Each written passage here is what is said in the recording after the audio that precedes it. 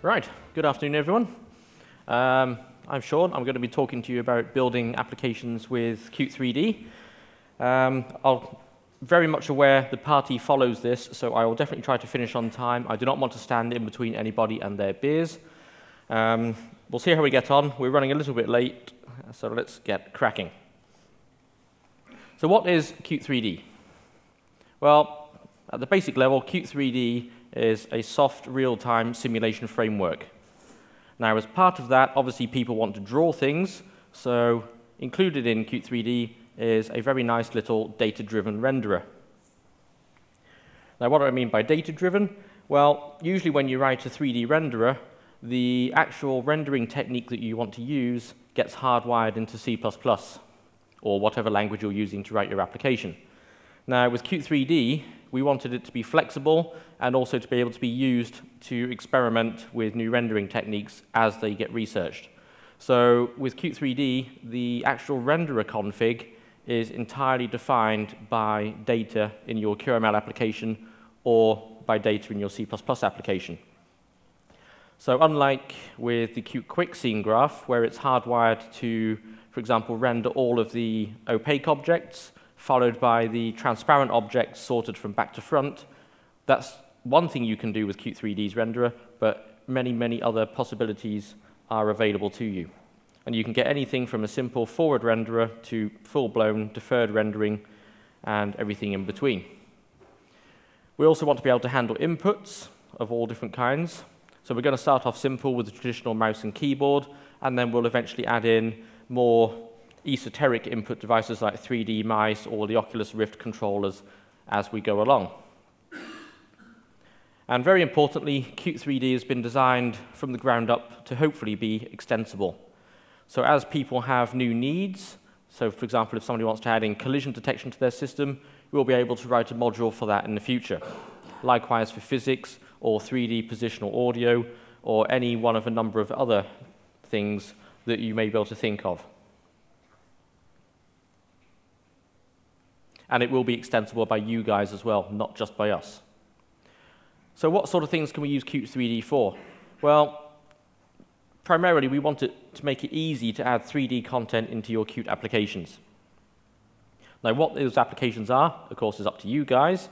Um, it's a picture here of a demo we have running on the KDAB booth at the moment, showing a little jet engine. Um, on our booth, that's running on a little embedded Tegra board from NVIDIA um, but it also runs on all the usual desktop platforms, and it could run on a whole host of other embedded platforms and mobile devices and tablets. Q3D allows you the flexibility to target your application across all these different range of devices. There may be some little tweaks you need to make in terms of the specifics for the shaders that you want to run if you're writing your own custom shaders, um, but that's relatively minor.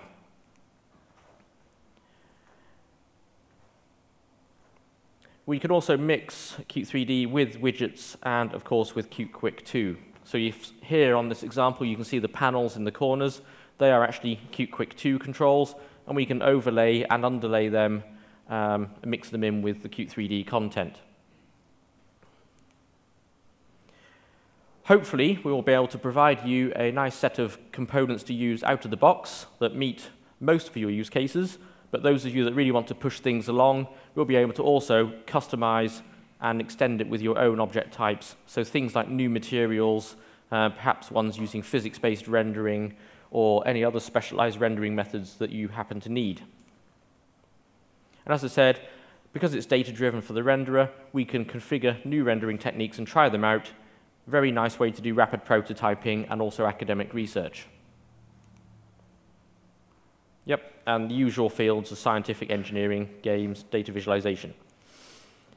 So for this session, we are going to show some basics of Qt 3D by basically making a very simple start to a space shooter type game.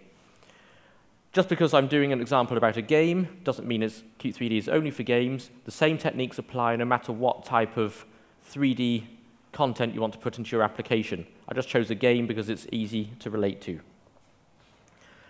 So we're going to have a stab at doing this semi-live. I have coded the application, but we're going to build it up in easy-to-digest stages. So the first thing we need to do is create the basic application structure. And in this example, we are going to use QML because it's just so much more concise than doing it in C++. But if you want to do this in C++, you can, of course, pick that up and use the C++ APIs for Qt3D there too. Now, the first thing we're going to need that's a little bit new is something called the QQML aspect engine. Now, Qt3D is broken down so that each of its slices of functionality are split out into a separate submodule of Qt3D.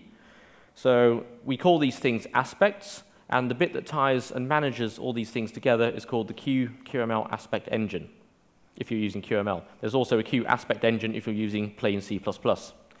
It also combines in our good old friend, the QQML engine, so we got all the nice things like property bindings and updates and animations as well. We also need a window surface on which to draw, so we're going to subclass a very simple subclass of QWindow, where we can just set the OpenGL version we want to use, and our window also acts as the event source for the input events that we want to pump into Qt3D. And very importantly, we're going to need the render aspect because, hey, we want to draw stuff. And the input aspect so we can handle keyboard input in this example. So let's have a look at step one. It's pretty straightforward. I should have this one already loaded, I hope. Oh, need a little bit bigger font. Oh, hang on. Oh, no. Hmm. Bear with me a second. My screen has gone a little bit funny. I'm seeing something different to you. Right, there we go. Let's. So, bigger font. Is that readable at the back? Yep, thank you. Right, so we have in our main function a QGUI application. We're not using widgets in this case, so we don't need the full Q application. And then we have this guy, window, which is a subclass of QWindow. So if we go in and have a look at this, very, very simple. All we're doing is in the constructor, we set the surface type to be OpenGL surface, because Qt3D is based on top of OpenGL. And then we create a QSurface format, and we ask for OpenGL version 4.3. Now on this particular laptop, it won't get version 4.3, but hopefully it will return me 4.1, which is the maximum that Apple supports at the moment. We're also going to be using the core profile. Um, we've designed Qt3D to work primarily with the core profile and the new feature set rather than the legacy stuff in OpenGL. Um, it should also work with a compatibility profile if you want to integrate it with some legacy code as well. Then we've got some little bits and pieces here, setting up some options that are needed by um, Qt3D and Qt and then we set that format on the window, and we create the window explicitly. Behind the scenes, Qt3D will use that surface format to create its OpenGL context, ready to do its own rendering. But we're not going to dive into that today. So we have our window, and we resize it to a reasonable size. We then have our friend QQML aspect engine, and to that engine, we add two pieces of functionality. We add in our QRender aspect and our QInput aspect. The renderer draws things, input deals with input events. Now, if you wanted to add in collision detection, you could register an aspect that knows all about collision detection. If you wanted one that does a physics engine on top of Havok, you could write your own Havok physics aspect, or one on top of Bullet, or any other engine that you want to use. Perhaps you have an in-house one. It's up to you to register which bits of functionality you want. We're then just exposing an object to QML, and then here we create this uh, Q-variant map where we set some configuration data for Qt3D, which basically says which surface should I be drawing on for the renderer, and for the event source, it tells the input aspect where it should get, it, it, get its inputs event from. And then finally down here, we're just loading up a main QML file which we can have a quick look at. It's pretty simple. So we import some QML modules at the top. I've accidentally imported QQuick 2.1 as well. I'm not sure I need that just yet, but never mind. So at the root, we have this thing called entity. Now, an entity is basically an empty container. It has no particular behavior on its own. It's pretty much analogous to item from the Qt Quick 2 world. To make it do something useful, we have to give it something called a component. And we're going to see a bit more about components shortly, but for now, we give it a default frame graph. This is a piece of data that controls how our scene is rendered. So we're using the built-in forward renderer, which basically says just draw everything straight to the screen. We're not doing any deferred rendering or rendering to textures or anything other fancy like that. We have a keyboard controller, which is basically going to feed our keyboard events into our application in a little while when we hook it up. And then inside here we have another entity, which is going to act as the root for our 3D scene content, and then we have a camera. So our camera has all sorts of options on it. We can have perspective projections or orthographic ones. In this case, we're going to use orthographic. And what we're doing is we're setting up a game area where if you imagine this table is our play area, we have a camera above it, and we're looking down onto the game area. Now, if I build and run this, we're going to see something very boring. There we go. Hurrah, we have a black window. Yep, that's quite normal for OpenGL, by the way. Staring at a black window is a very common pastime for OpenGL developers. So the key is how do we make these pixels not black? Well, one thing we can do with the frame graph that's built in, this forward renderer, is we can set the clear color. It's a property that gets exported, says what color to clear the screen to, so we could just change that to white, and then we'd, hooray, have a white screen instead. But that's not very exciting either, so we won't bother doing that.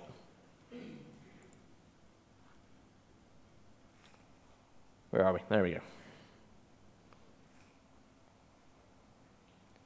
So the next step is to understand a little bit about entities and components.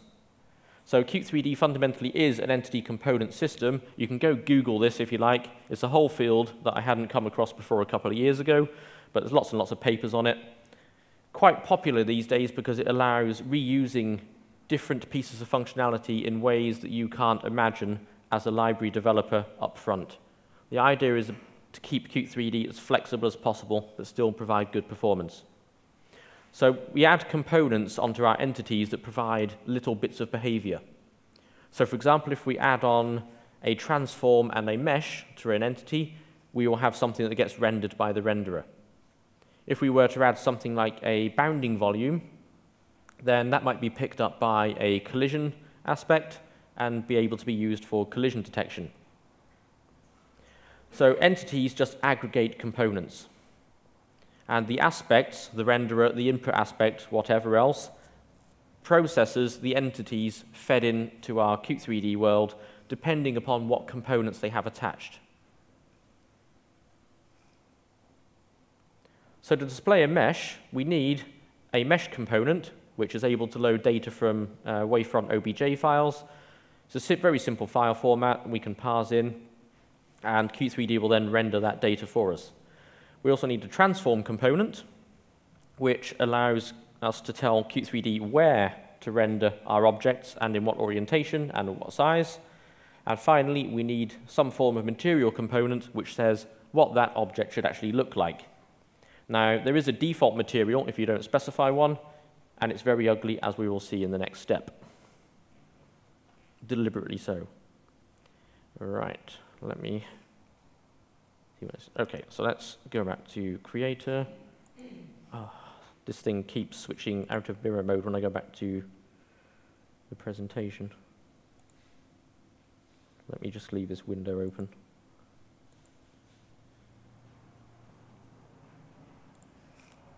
There we go, back to creator. So I just need to get my notepad and get the second step.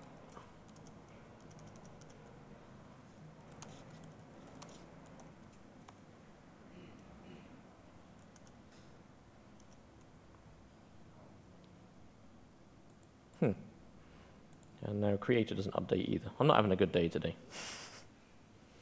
Let me close the project and reopen it.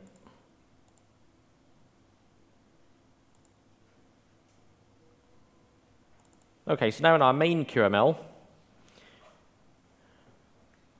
um, where are we? We have our camera down there. We now have a new thing here called player ship.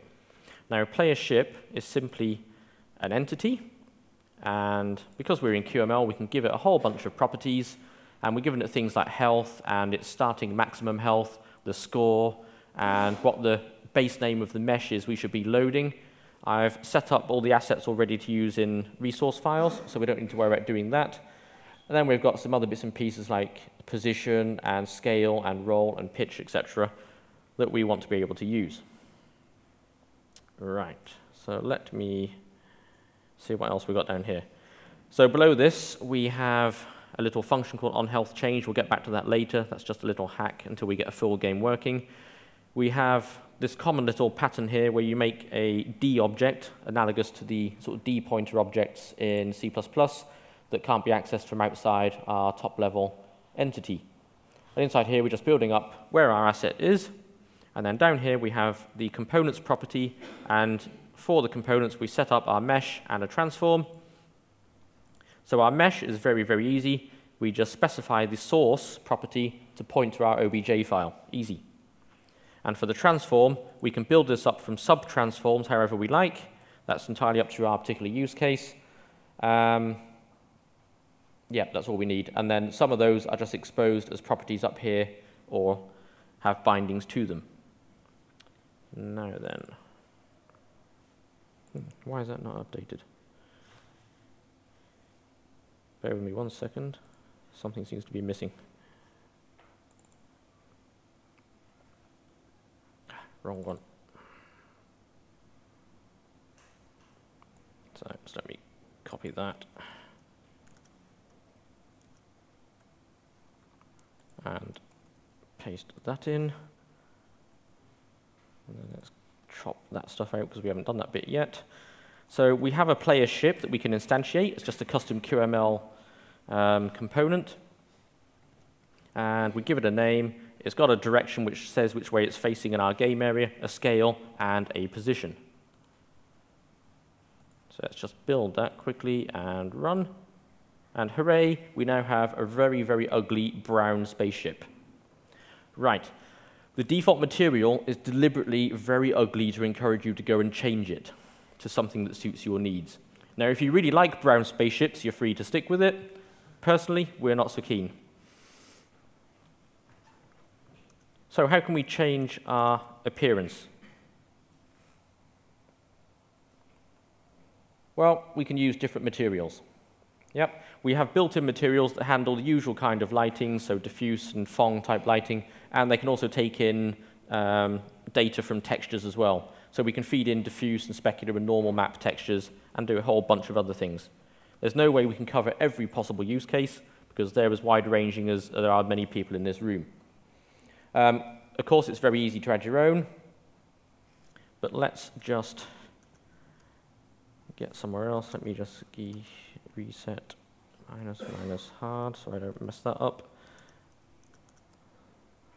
And get the next stage.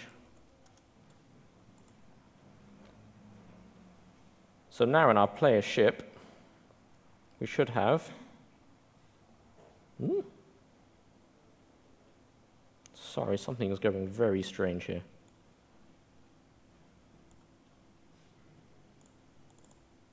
It appears my objects are not updating. Hmm.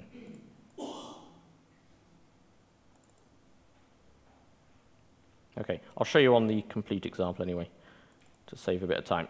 So on our complete example, we have now inside of our player ship QML this guy here called diffuse specular map material. Now what this does is a Phong lighting model so it's got ambient, diffuse, and specular contributions, and we're getting some of the data now from textures, um, also inside of our assets, which are just standard JPEGs. We're just going to interpret them in a slightly special way inside of the shaders.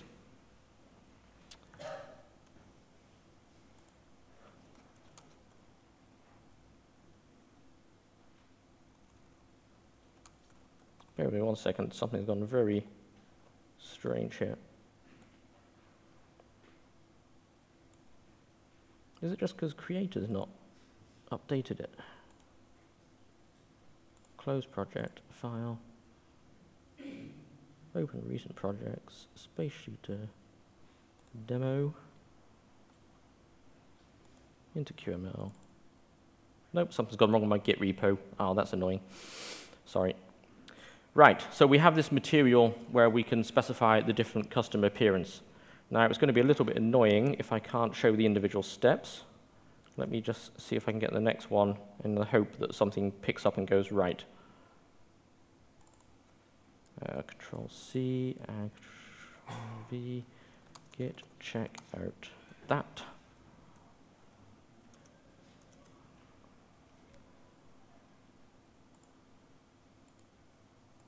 Build and run. Okay, so okay, I've covered two steps here at once. For some reason, my creator's not showing me these files as I think they should be. So now we have our ship, which is using a different material, and it's got a nice texture on it to give our ship a spaceshipy type appearance. And when we get to be able to move it around, we'll be able to see the lighting effects working on it.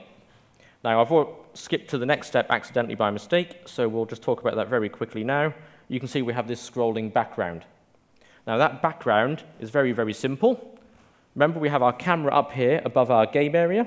And this table is now just a single flat rectangle, and all we're doing is we're putting a single texture image onto that, and then using a bit of magic to make the texture scroll repeatedly. So we're just changing the texture coordinates a little bit each and every frame. Now, the way we change the texture coordinates is by using something called a logic component. So if I just switch back to the presentation, I think there's a slide here somewhere. So we're using a plane mesh, which gives us a flat rectangle, and a texture material, which just applies a texture with no lighting whatsoever. We want to animate the scrolling. We use a QLogic aspect. So to make this work, we need some extra bits in our C++. We have to register the logic aspect into Q3D, and then we use a logic component in our application. So in C++, in our main function, What is going on? This is just not showing me at all what is on my hard drive. Let's have a look. Uh, right, so let's close Space Shooter demo, and let's explicitly file, open file or project, development. Uh, space shooter demo. Go.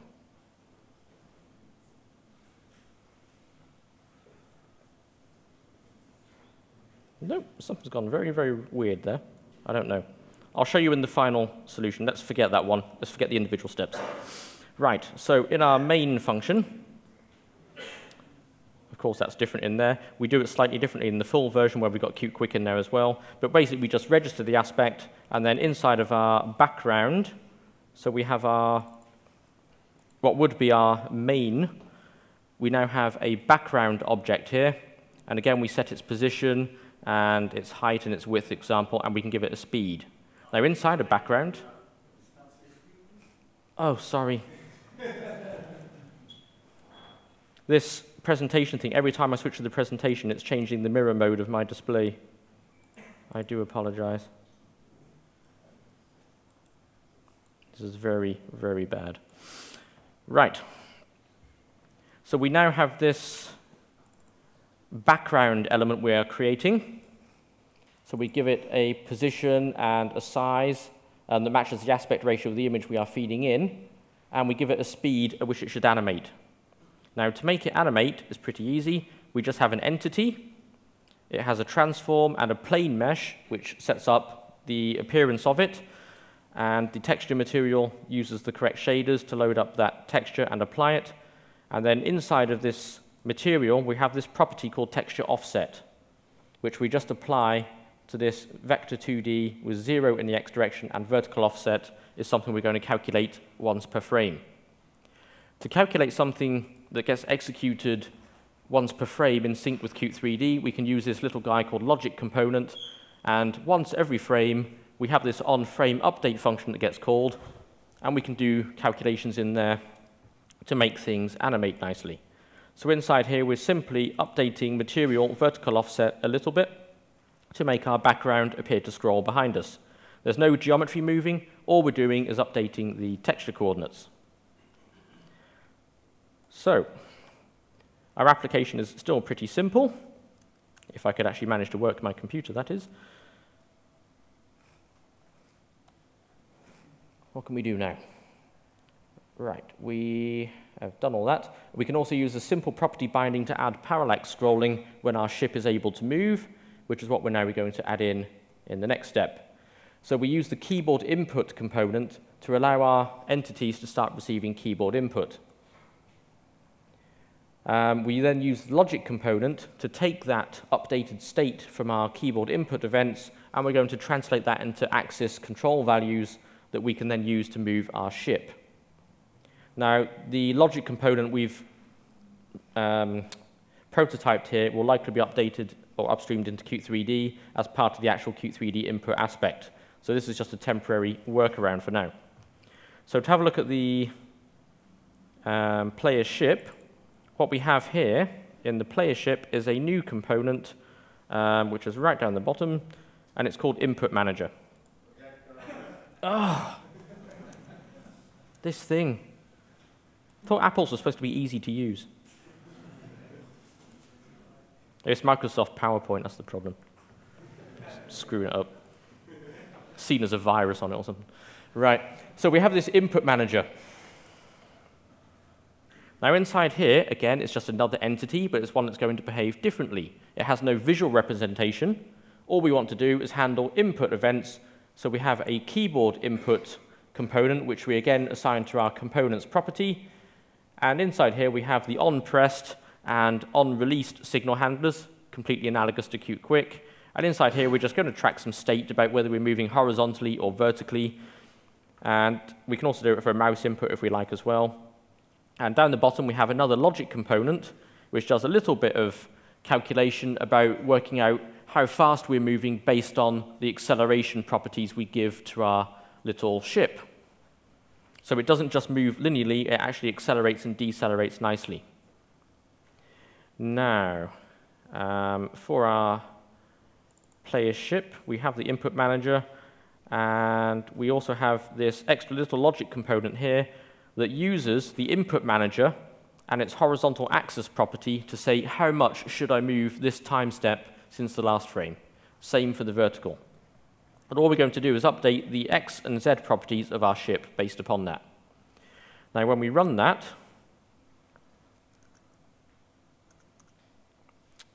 if I just get the next step, um, I can't show you the code from it, but it seems to run it. Get checkout that. And then build and run. So now we have our little ship. And when I use the arrow keys, we can now move our ship around. And with the little property binding to set our parallax scrolling, we can move our ship around and the background moves in the opposite direction.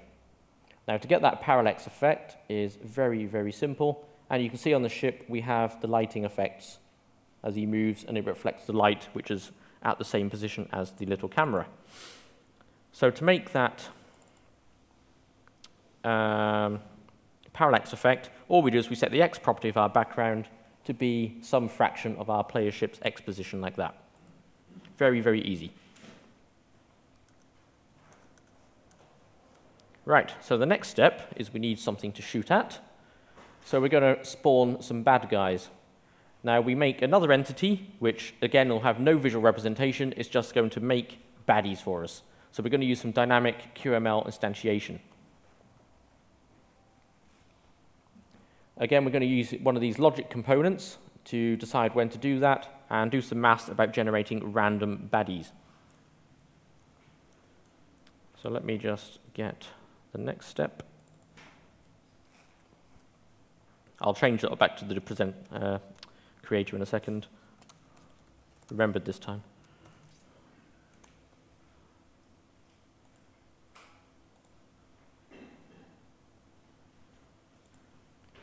So now if we just build and run it, and then I'll show you the code to do it.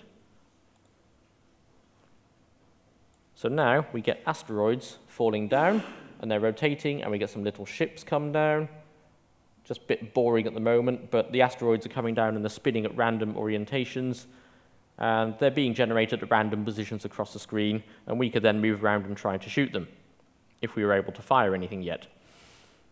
Right, so let me go back into here. And what we now have is one extra object, which we've called game controller. And inside the game controller, we have, surprise, surprise, an entity. So it's said it's just like item. We use it all over the place. It has one component called the spawner logic, and we then implement the component that on completed um, signal handler from QML. And inside here, we create a couple of factory objects. So we are creating a factory object for our asteroids.qml and one for enemy ship.qml. Now these guys themselves, again, are just entities with different meshes and without the input components that our player ship has because they're controlled by the computer, not us. This chunk of code here is just a little trick to force Qt3D to preload all the different models for the asteroid types that we have. We do this once up front to stop the game lagging a little bit when it actually starts up and the first time it creates an asteroid. So that's entirely optional. And then the spawner logic basically just says on frame update, and then every n frames, so when we've got 360 frames or up to some multiple of 120 frames, we're going to create a baddie of one sort or another. And we're doing that just by using the old create object from QML and setting properties on the object, calculating things like a random x position and a random rotation for it. So really quite simple.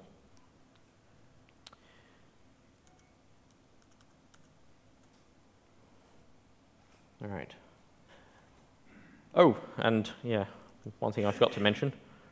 Uh, right, back to here. Turn that display off, stupid thing is when we create our asteroids, for example, again, it's just an entity with a mesh and a material, and it has a logic component for updating its position. We have this extra little logic component down here called destroy on leave magic, on, no, destroy on leave logic, not magic. It is magic. All we do is we basically check each frame to see if it's left our game area plus some little margin, and if it has, we destroy the object that was dynamically created. So very, very simple, but it means we're not keeping track of all the objects that have flown off the bottom of the screen that we didn't manage to shoot. So we just keep a reasonable number of objects around.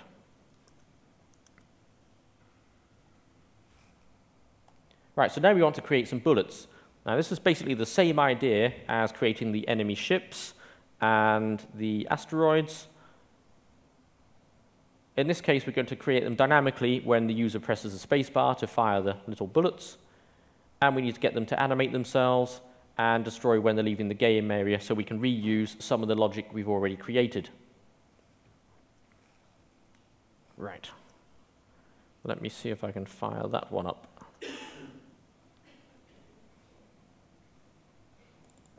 We're nearly there.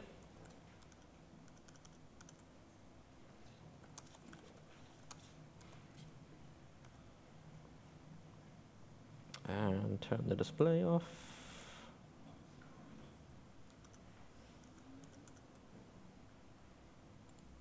And then if I build and run,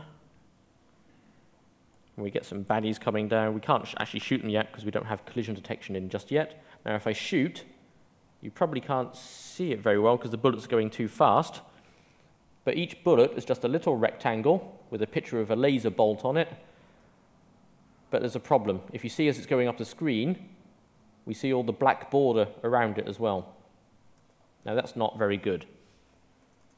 Yep, we want something that looks more like an actual laser bolt rather than just a square with a colored stripe up the middle. So we need to do a little bit more effort. Now what we do is we need to make something that changes the way Qt3D is drawing our scene. For our bullets, we want to use no lighting. We're just going to use a simple rectangle with a texture on them. But we need blending. We want to be able to see through that rectangle where the laser bolt is not bright. So to do that, we need to turn on blending, and to do that, we need to customize the frame graph that we're using. We can't just use the simple forward renderer anymore. The frame graph determines how the renderer processes the scene. So we have a little example here. The scene graph is what to render, and the frame graph is how to render it. And we can build up a little tree of frame graph nodes using nodes like this. So we can have a camera selector which says which camera are we rendering that part of the frame from, um, what technique should we be using, and should the data be sorted before we submit it to OpenGL, and lots of other options as well. Now we process our graph of frame graph nodes in a depth first order, and for every leaf node, we basically submit a job that creates all the draw calls for that bit of the frame. So here we see an example where we have a frame graph that draws one scene from the point of view of four different cameras. Now, to do that in Qt3D, one would have basically been impossible, I think. Um, but now it's very, very simple case of you still have the same scene, we just change the frame graph that says how it is rendered. So we have four cameras, and we render each camera into each quad of the screen. So the way that works is our frame graph looks like that graph on the left, and for the first set of render commands we build up, we simply clear the buffer for the viewport represented at the top level of our tree. Now on the second thread, we will build up a set of render commands that processes that leaf node with camera selector 1 at the bottom. So we'll basically see which objects we need to build and render from that camera's point of view. And then there'll be other threads and other jobs that build them up from the other leaf nodes of that graph. When we process them all, and submit them to OpenGL, we end up with the image on the previous slide. And these things are all happening in parallel on the back end, so Qt3D scales up across as many threads or as many cores as you care to throw at it. And your own aspects can take advantage of that job framework on the back end as well. So let's have a quick look at how we do that. Just let me get the next bit.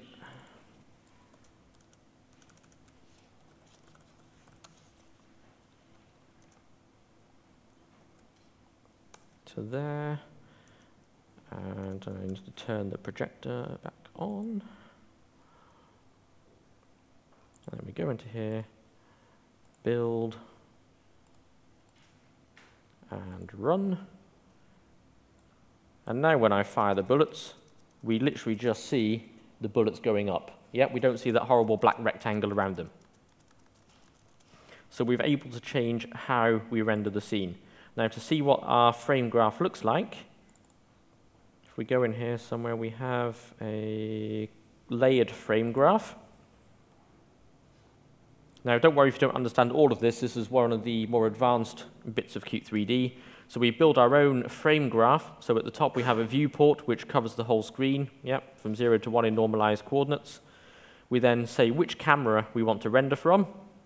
We want to clear the buffers and the final option on that first branch of the frame graph is where you render everything that's tagged with a layer called opaque. So this is things like our ship, our background, our asteroids, and the baddies. We then render a different layer filter called blended.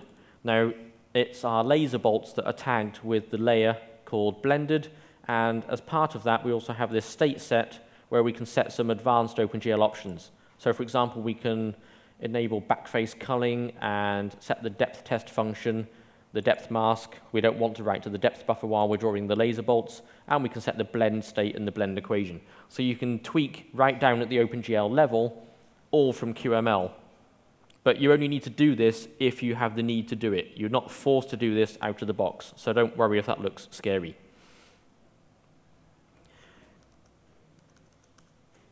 So we're getting there. Now we can add a 2D user interface over the top. And it's a three-step process. The first step is we basically change our application. Instead of using a window, we use a Q Quick View or a QQML application. The choice is yours. We then wrap our Qt3D content in a special little guy called Scene3D. Now, Scene3D is a custom Qt Quick 2 item that is provided by Qt3D. And what it does is it acts as an intermediary or a bridge between the two worlds. So when we wrap our 3D content in a scene 3D item, the renderer then takes care of rendering our 3D world into a texture, and that texture is then rendered onto a quad in QQuick 2. So it works in a very similar way to the QQuick frame buffer object, but instead of using your own renderer, we feed in the Qt3D renderer. And the third step is simple, just make money. So that's literally all there is to do to mix between Qt3D and Qt Quick. Right, let's have a look at that. So I can just show you the final version now. So inside of our main file now, we have a GUI application, we have a QQuick view. Ah! Thank you. I will punish myself later.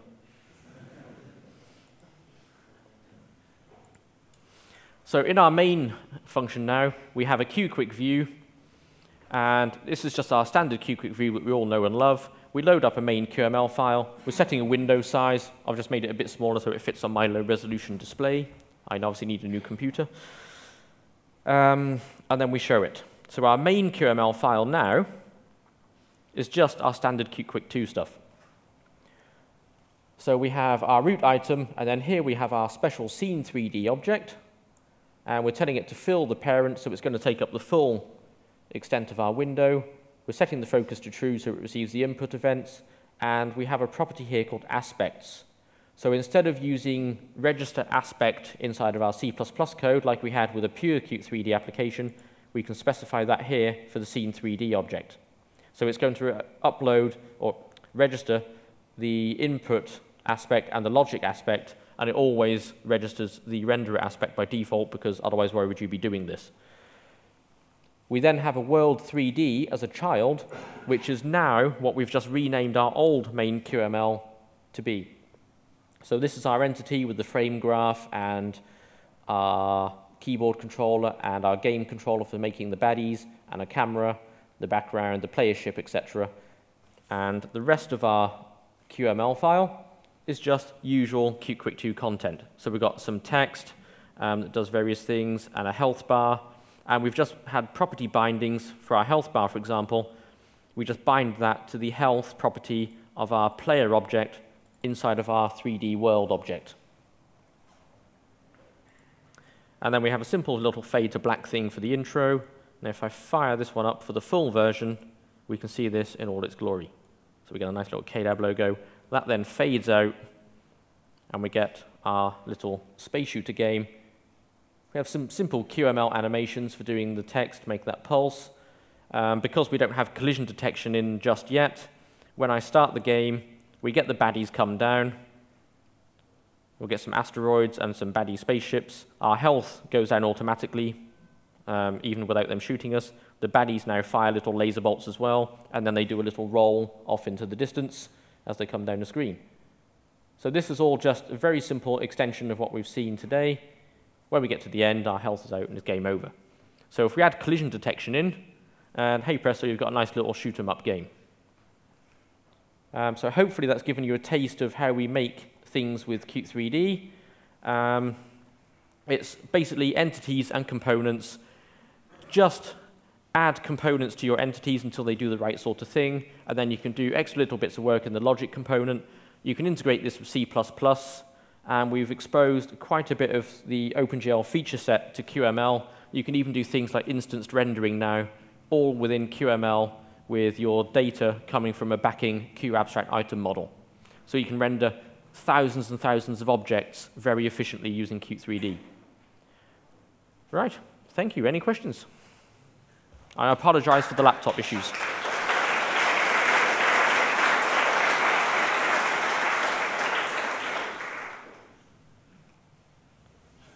Yes, than what you're trying to do. So, sorry, yeah, the question is what would be more efficient using Qt 3D or um, Canvas 3D? And it depends entirely upon what you're trying to do. So if you're trying to port something from a three.js example that you found, it would be much more efficient to port that to Canvas 3D. Canvas 3D is, as um, said in the previous talk, um, basically a wrapper around OpenGL ES2, which is used equivalently to WebGL. Now, if you need more features than what that provides, then you'll be better off moving towards Qt3D or doing something explicitly on your own. Qt3D also has the advantage in that it scales up across multiple CPU cores, whereas the Canvas 3D is still limited to one thread. Yep. So it depends on your particular use case and whether you're talking about runtime efficiency or developer maintenance efficiency or porting efficiency. Okay? Yes? Okay, so the question is, can you implement your own graphics algorithms, or are you limited to doing simple layer-based rendering like we saw here today? And the answer is you are not limited. You can use frame buffer objects. We have um, objects that wrap those, so you can attach your own textures, including multiple texture attachments at any time. You can implement completely deferred renderers using the frame graph. So it's up to you entirely what rendering technique you use you should even, in theory, be able to do things like order-independent transparency, which requires some pretty advanced features. Does that answer your question? Yep. Anybody else? Yes. You may, you may have to speak up.